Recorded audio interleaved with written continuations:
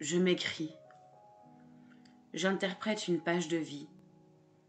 J'en use comme plaque de cuivre. J'ai la graine de plaisir, je la crible d'années. Je la saisis en verte saison, je la racle de nuit d'hiver, je la ronge en creux d'angoisse. Je m'y taille espace libre. Je l'attaque en matière noire. Je progresse d'épreuves en épreuves. Je la creuse en vaine morsure.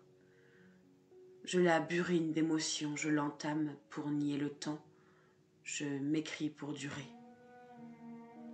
Ce que nous sommes, tu es radeau dans l'éclaircie, tu es silence dans les villes, tu es debout, tu gravites, tu es rapte d'infini, mais tel que je suis, que j'écris et que je tremble, je te sais parfois refroidi de toi-même, quand les faibles et le sel t'ont quitté je te sais tantôt mutilé, tantôt espace, tantôt épave ou illumination.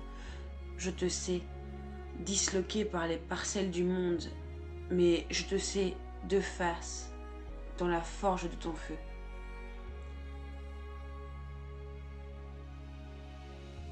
La fourmi et la cigale. Fini, fini, dit la fourmi. Au diable la parcimonie. Dès aujourd'hui je convie toutes cigales affranchies à me chanter leur mélodie, et nous fêterons en compagnie la vie qui bouge, la vie qui fuit. Hola hola, fit la cigale, poussant un cri très vertical. Pour moi, adieu le carnaval, l'hiver, l'hiver m'a tant appris, et le souci tant rétréci que j'ai rangé toutes mes rêveries pour m'établir en bourgeoisie.